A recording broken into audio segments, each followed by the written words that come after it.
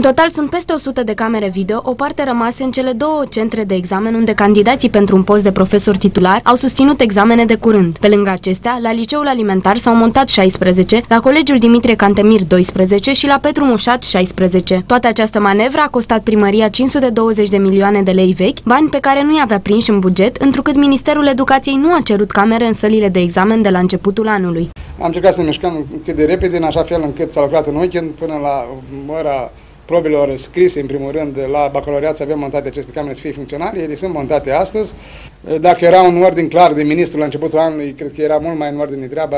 Prindeam bani în buget la începutul anului școlar, așa trebuie să cârpim bugetele, asta este realitatea, dar vom face tot ce este posibil ca uh, examenul de bacalaureat din sesiunea de toamnă să se desfășoare conform celor stabilite și să aibă această supraveghere video în toate sălile de examen. Ministrul Educației, Daniel Funeriu, îi avertiza pe candidații care susțin bacalaureatul în toamnă că examenul va fi la fel de dificil ca sesiunea din vară. Dat fiind faptul că la prima sesiune elevii nu au fost supravegheați video, se poate spune că pentru candidații suceveni, susținerea probelor scrise în toamnă va fi o provocare și mai mare.